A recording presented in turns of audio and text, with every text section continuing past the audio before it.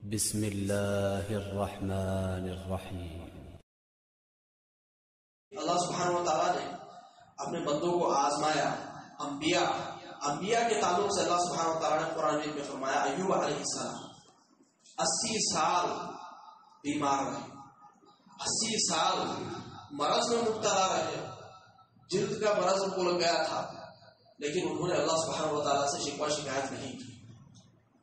انہوں نے اللہ سبحانہ و تعالیٰ سے دعا کی کہ ربی انی مسن یا و انت ارحم الراحم اے میرے پروردگار، مجھے بیماری لاحق ہو گئی ہے اور تو بہت زیادہ رحم کرنے والا، بہت زیادہ رحم کرنے والا۔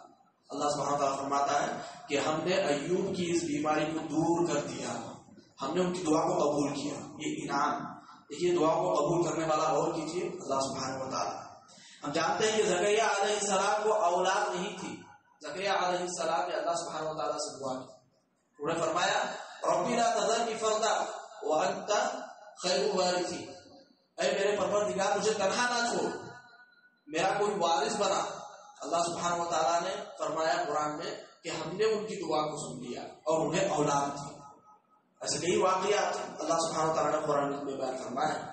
موسا علیہ السلام جب مدین جاتے ہیں وہاں ان کا کوئی جان پہچان والا نہیں تھا۔